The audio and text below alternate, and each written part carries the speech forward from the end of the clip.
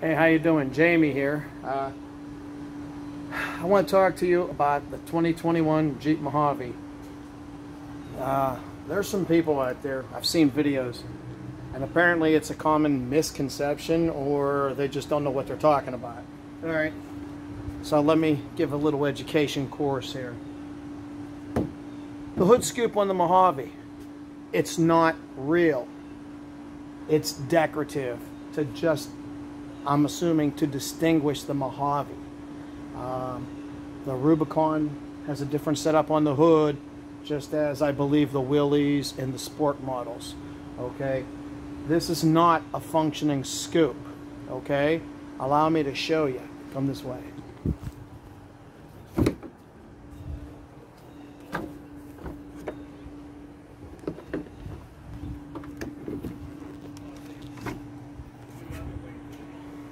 All right, now we got the hood open. And as you can clearly see, you can clearly see the hood liner or the hood pad, however you want to reference it.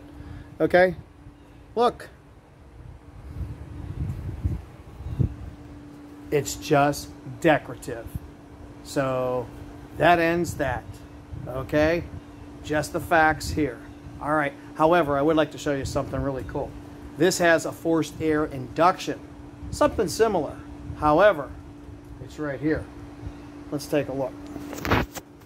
Right here, you'll see a hole, oh, I don't know, maybe two inches wide, possibly two and a half, three inches long. That comes back through here, through the duct to work, comes up through here, goes into your air cleaner box, and also through here. Okay? That is pretty much a forced air induction setup, which is really cool.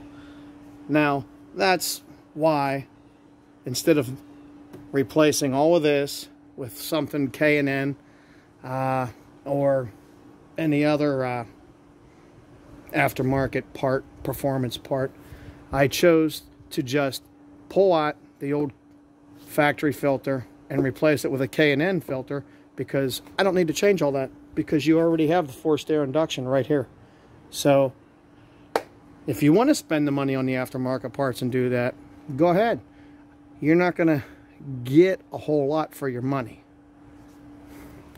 But anyhow, I just wanted to do a quick little video and end the uh, miscommunications, the misinformation about the Mojave and the hood scoop.